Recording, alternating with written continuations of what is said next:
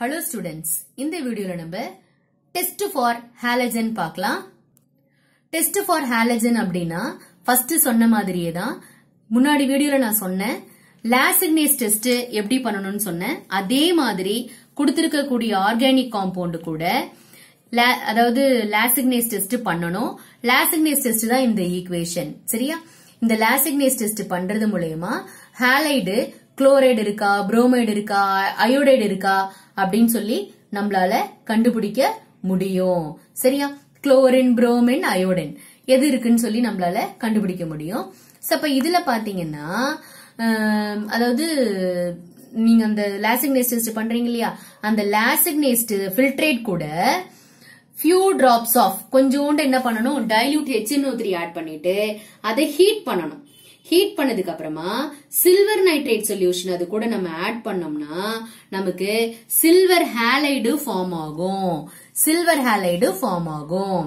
புரியுதாப்பா? சப்ப this is nothing but இங்க இருக்கக்கூடிய எக்ஸ் அதாவது ஏஜிசிஎல்னா அது ஒரு கலர் கொடுக்கும். ஏஜிசிஎல்னா ஒயிட் பிரிசிப்டேட் ஃபார்ம் ஆகும். அதுவே ஏஜி பிஆர்னாக்கா எல்லோ பிரிசிப்டேட் ஃபார்ம் ஆகும்.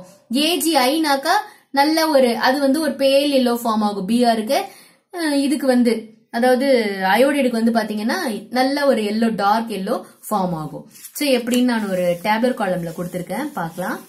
இதுல பாருங்கப்பா. இப்ப அதாவது colour of the precipitate white கலரா இருந்துச்சுன்னா என்னது? குளோரின் இருக்கு அதுலன்னு அர்த்தம்.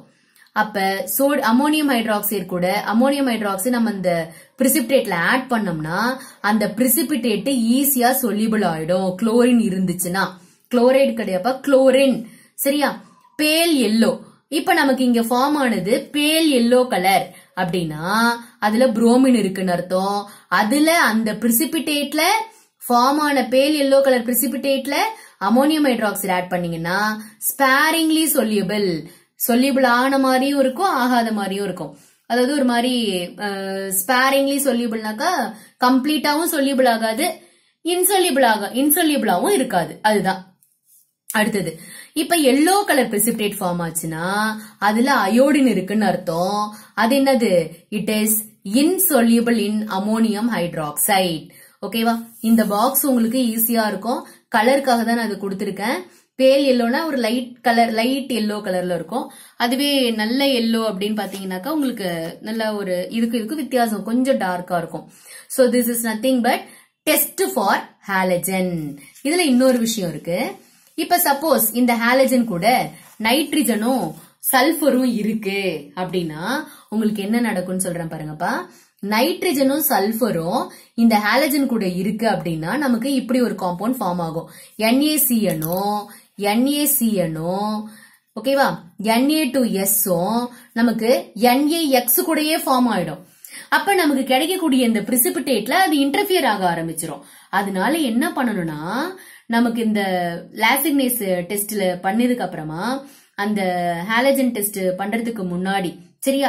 என்ன பண்ணணும்னாக்கா நைட்ரிக் ஆசிடோட அதை சேர்த்து லாசிக்னேஸ் எக்ஸ்ட்ராக்ட நைட்ரிக் ஆசிடோட சேர்த்து ஹீட் பண்ணோம்னா சரியா?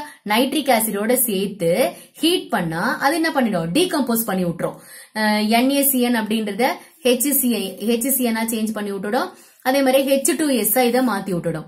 சோ அப்ப உங்களுக்கு டீகம்போஸ் ஆயிடுச்சுனாக்கா உங்களுக்கு வந்து அந்த மாதிரி இன்டர்ஃபியர் ஆக வாய்ப்பு இல்லை சோ எப்படி இன்டர்ஃபியர் ஆகுன்றத நான் இங்க கொடுத்துருக்கேன்.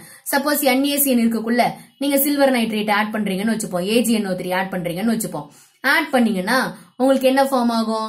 ஏஜிசிஎன் ஃபார்ம் ஆகும். அப்போ ஒயிட் பிரிசிடேட் நமக்கு ஃபார்ம் ஆன அந்த ஏஜிசிஎல் கூட இது வந்து கன்ஃபியூஸ் பண்ணும். அதே மாதிரி ஏஜிஎன்ஓ த்ரீ வந்து நம்ம என்ஏ டு சல்ஃபர் இருக்கக்கூடிய காம்பவுண்ட்ல ஆட் பண்றோம்னு வச்சுப்போம். அது சில்வர் அதாவது ஏஜி டு எஸ் நமக்கு சேஞ்ச் ஆகும். பிளாக் precipitate ஃபார்ம் ஆகும். நமக்கு இங்க இருக்கிறதே ஒயிட் பேல் எல்லோ எல்லோ தான் இருக்கு. சோ பிளாக் வந்ததுன்னா இதுவும் நம்மள கன்ஃபியூஸ் பண்ணும். புரியுதா? அப்ப நைட்ரஜனும் சல்ஃபரும் வந்திருக்குமோ இருக்குமோ அப்படின்ற பட்சத்துல அந்த லாசிக்னேஸ் ஃபில்ட்ரேட்ட ஃபர்ஸ்ட் நைட்ரிக் ஆசிடோட ட்ரீட் பண்ணிட்டு அப்புறம் நம்ம சில்வர் நைட்ரேட் ஆட் பண்ணோம்னாக்கா வில் பி கெட்டிங் அதாவது நமக்கு கரெக்டான கலர் ஐடென்டிபிகேஷன் வரும். அதை வச்சு நமக்கு என்ன ஹேலைட் இருக்கு அப்படின்னு சொல்லி கண்டுபிடிக்கலாம். சோ ஹேலைட் இருக்கா இல்லையான்னு கண்டுபிடிக்கிறதுக்கு சில்வர் நைட்ரேட் டெஸ்ட் சரியா? A G N O three test so அதுல நம்ம லாசிக் டெஸ்ட் கூட சில்வர் நைட்ரேட் ஆட் பண்றோம். சில்வர் நைட்ரேட் ஆட் பண்ணிட்டு கூட கொஞ்சோண்டு டைல்யூட் நைட்ரிக் ஆசிட் அதுல ஆட் பண்றோம்.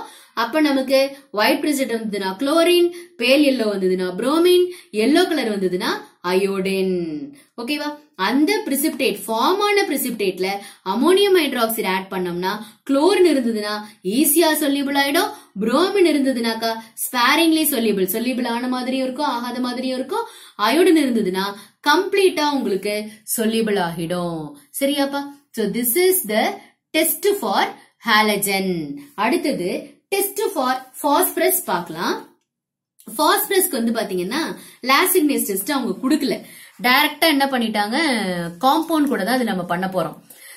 சல்ஃபர்ல பார்த்தோம்ல ஆக்சிடேஷன் டெஸ்ட்ல டைரக்டா ஆர்கானிக் காம்பவுண்ட் கூட சோடியம் கார்பனேட் எக்ஸ்ட்ராக்ட் பார்த்தோம்ல அதே மாதிரி தான் காம்பவுண்ட் எடுத்துக்கிறோம் சோடியம் கார்பனேட் ஆட் பண்றோம் அது கூட பொட்டாசியம் நைட்ரேட் ஆட் பண்றோம். சரியா? நைட்ரேட் ஆட் பண்ணிட்டு அதை வந்து வாட்டர் கூட கொஞ்சோண்டு ஆட் பண்ணிக்கலாம். ஆட் பண்ணி நல்லா ஹீட் பண்ணணும். ஹீட் பண்ணும் பொழுது நமக்கு அங்க இருக்கக்கூடிய காம்பவுண்ட்ல பாஸ்பரஸ் இருந்ததுன்னா அது சோடியம் பாஸ்பேட்டா சேஞ்ச் ஆயிடும். ஓகேவாப்பா ஃபர்ஸ்ட் உங்களுக்கு என்னவா சேஞ்ச் ஆகும்? Sodium sorry NA3PO4 three P O four sodium பாஸ்பேட்டா உங்களுக்கு சேஞ்ச் ஆயிடும். அந்த சோடியம் பாஸ்பேட் கூட அதாவது அந்த டெஸ்ட் டியூப்ல எடுத்துக்கிறோம்ல டெஸ்ட் டியூப்ல ஆர்கானிக் காம்பவுண்ட் எடுக்கிறோம் சோடியம் கார்பனேட் எடுக்கிறோம் பொட்டாசியம் நைட்ரேட் எடுக்கிறோம். அது வந்து ஹீட் பண்ணும் பொழுது நமக்கு வந்து கண்டென்ட் ஒரு ஒரு ஃபைவ் ஒரு டூ த்ரீ மினிட்ஸ் ஹீட் பண்ணா போதும். ஹீட் பண்ணிட்டு ஃபில்டர் பண்ணிக்கணும்.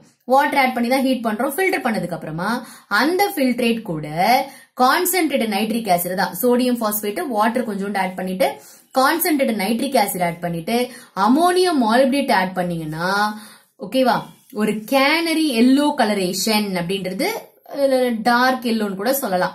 அந்த மாதிரி ஒரு எல்லோ கலர் வந்து நமக்கு ஃபார்ம் ஆகலாம். So it is nothing but presence of phosphorus phosphorus அதுல இருக்கு அப்படின்னு சொல்லி நம்மளால கண்டுபிடிக்க முடியும். சோ அப்ப டெஸ்ட் ஃபார் பாஸ்பரஸ் என்ன? ஆர்கானிக் காம்பவுண்ட் எடுக்கிறோம் சோடியம் கார்பனேட் எடுக்கிறோம் பொட்டாசியம் நைட்ரேட் எடுக்கிறோம் வாட்டரும் அதுல ஆட் பண்றோம் ஹீட் பண்றோம். ஹீட் பண்ணிட்டு ஃபில்டர் பண்றோம். அந்த ஃபில்ட்ரேட்ல அமோனியம் ஆல்பிரேட் ஆட் பண்ணிட்டு நமக்கு கலர் வந்து கேனரி எல்லோ கலரேஷன் இல்ல பிரிசிப்டேட் வந்துச்சுன்னா பாஸ்பரஸ் இருக்குன்னு அர்த்தம். ஓகேவா சோ நெக்ஸ்ட் வீடியோல நம்ம டிடெக்ஷன் ஆஃப் எலமெண்ட்ஸ பத்தி பார்க்கலாம். புரிஞ்சிருக்கும்னு நினைக்கிறேன். உங்களுக்கு இதுல டவுட் இருந்ததுன்னா நீங்க கமெண்ட் பாக்ஸ்ல போடுங்க. நான் ரிப்ளை பண்றேன். Thank you students